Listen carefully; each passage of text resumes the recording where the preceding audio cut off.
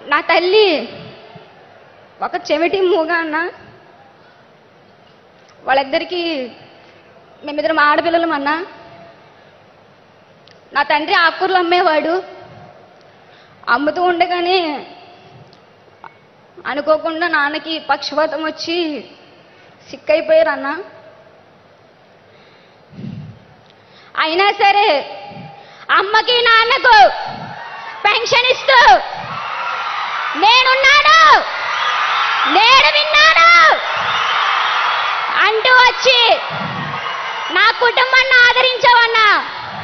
అందుకే నీకు శిరస్సు వంచి మళ్ళీ నమస్కరిస్తున్నానన్నా నేను ఇంత ఆనందంగా ఉన్నానంటే దానికి కారణం నా జగనన్న అన్నా నేను డిగ్రీ కార్పొరేట్ కాలేజ్లో చదువుతున్నానన్నా. అన్న నా తండ్రి నా కుటుంబం ఇలా ఉన్నా సరే నేనేమి చేయాలో నాకు అర్థం కాలేదన్నా. మీరు ఆ సమయంలో ముఖ్యమంత్రి అయ్యి నవరత్నాల్లో భాగంగా వసతి దీవెన విద్య దీవెన విద్య దీవెన అంటే నా కాలేజ్ ఫీజు మొత్తం మీరే చెల్లించారన్నా. చాలా హ్యాపీగా ఉంది నాకైతే.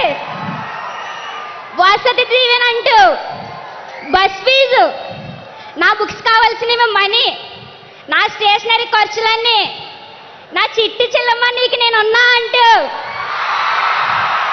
వసతి దీవెన అందించి. నన్ను నిలబెట్టాడు నా అన్న. అన్నా నేను ఫస్ట్ క్లాస్ నుంచి ఇంటర్ వరకు తెలుగు మీడియంలోనే చదువుకున్నాను అన్న గవర్నమెంట్ స్కూల్స్లో కాలేజెస్లో. ఇంగ్లీష్ మీడియం చదువుకోలేకపోయాను. నా కుటుంబ ఆర్థిక పరిస్థితి నాకు సరిపోలేదన్న.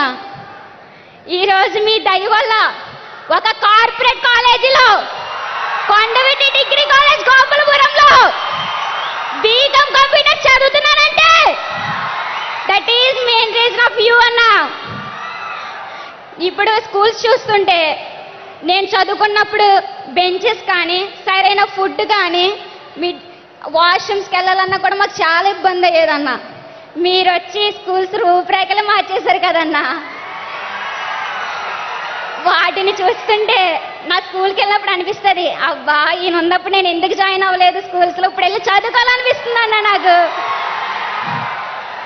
అంతలా ఆలోచించి మీరు మా కోసం ఎంత చేశారన్నా మరొక్కసారి మీకు నా ధన్యవాదాలన్నా అన్నా కులం చూడడు.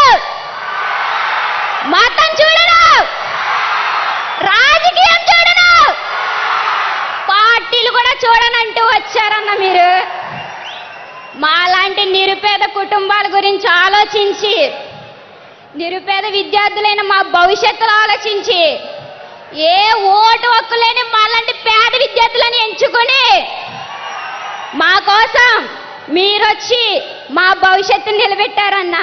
మళ్ళీ మీకు నమస్కరిస్తున్నానన్నా. అన్నా నా ఆనందం చెప్పుకోలేనిది.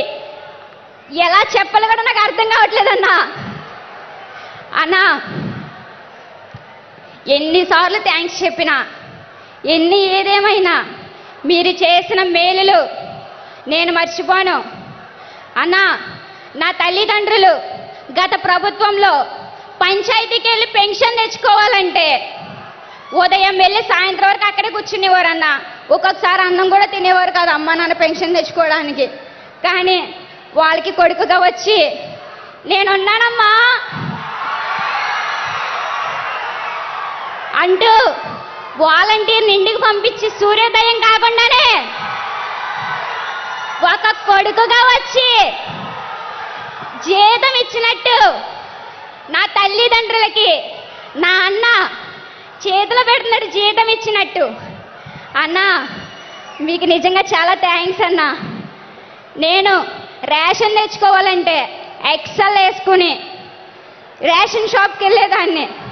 థర్టీ ఫైవ్ కేజెస్ రైస్ కోసం. కాలేజ్కి లేట్ అవుతున్నా సరే ఉదయం వెళ్ళేదాన్ని. ఉదయం సరికపోతే సాయంత్రం వచ్చి లేట్ అయిపోయేది. చెల్లి నేను విన్నాను ఉన్నానని చెప్పాను కదా. నీకెందుకంత శ్రమ? రేషన్ బియ్యం థర్టీ ఫైవ్ కేజెస్ మన ఇంటికి వస్తుందమ్మా. అంటూ ఇంటికి పంపించారన్నా మీరు. అన్నా ఇటువంటి గొప్ప గొప్ప కార్యక్రమాలు చేస్తూ నిరుపేదలందరినీ మీరు ఆదరిస్తూ ఇంతవరకు తీసుకొచ్చారు. అన్న వస్తున్నాడు. మంచి రోజులు వస్తున్నాయి. అంటూ వచ్చి రెక్కాడితే డొక్కాడిని కుటుంబాలందరినీ ఆదరించాడు మన అన్న. ఆదరించి మనందరికి మంచి రోజులు తెప్పించాడు. అన్నా ఇన్ని చేసిన మీరు మా ఇంటిలో నాకు అన్నగా ఏ కొడుకులేని కొడుకు లేని ఇల్లని భ్రమ లేకుండా నీ కొడుకుగా మా అమ్మ నాన్నకుండి చెల్లెలకు అన్నగా మీరుండి మమ్మల్ని నడిపించారన్న. అన్న విద్యా వైద్య రంగాల్లో మీరు